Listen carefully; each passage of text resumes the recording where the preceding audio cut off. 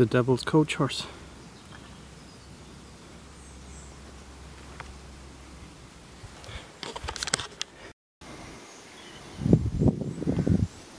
Some pretty big jaws on this guy. And the tail up as a threat.